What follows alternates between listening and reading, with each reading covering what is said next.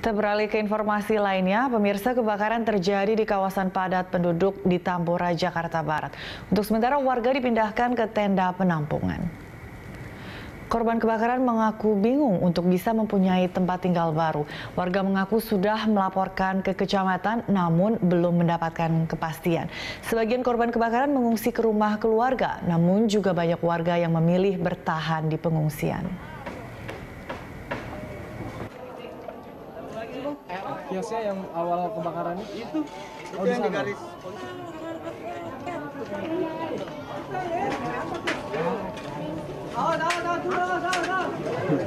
Ada yang mungkin sama saudaranya, tetangganya. Kebetulan kita juga udah pasang tenda di sini. Ya nanti malam ya mudah-mudahan cuaca juga takut hujan dong Pak ya. Jadi kita berharap ya warga untuk istilahnya tabah lah. Nanti kita lihat informasi selanjutnya baga bagaimana. Kita juga sudah melaporkan kepada Bapak RW, Bapak Lurah.